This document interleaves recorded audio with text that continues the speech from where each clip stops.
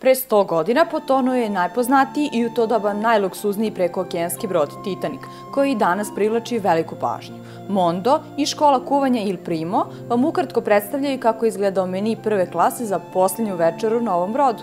Znači, prvo su služena predjela, pa onda supe i čorbe, a onda je na meniju bilo sedam ili osam vrsta različitih glavnih jela. Između njih su posluživani u partijama slatkiši. Tako da je ovo što ćemo mi danas e, napraviti, ovaj punch romaine, e, jedna poslastica koja je poslužena e, nakon što je servirano, ove, servirana jagnjetina u sosu od mente sa finim malim zelenim korpicama od graška.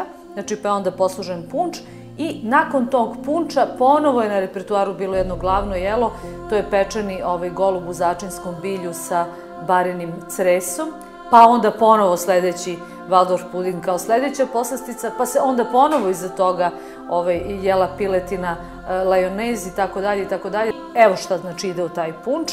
Ide pre svega jedan slatki sirup na koga smo mi umeđu vremenu potpuno zaboravili koji je ovaj, na nutricionističkoj analizi bi dobio čistu jedinicu iz jednostavnog razloga zato što je u pitanju klasičan sirup od vode i šećera i meša se, znači sa lomljenim ledom, onda se dodaje šampanjac, pa se dodaje slatko vino, belo, sok od pomoranđe, dve kašike soka od limuna, na ovoj dozi koja je doza za četiri osobe, a može da bude i za dve, zavisi kako se kome dopadne punč.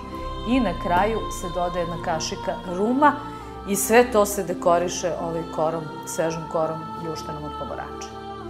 Znači, prvo ćemo, prvo ćemo staviti led. Led. A onda poželjno je da se ove stvari odigravaju razmerno brzo. Stavimo malo slatkog vina, stavimo malo soka od pomoranđe. Ja sam više puta ovo pravila pa može ovako odokativno, ali savjetujem, a i vi ćete dati za vašu publiku recept da se poštuju odnosi. I ovo slatko piće je naravno vrlo opasno, prvo zato što je pitko,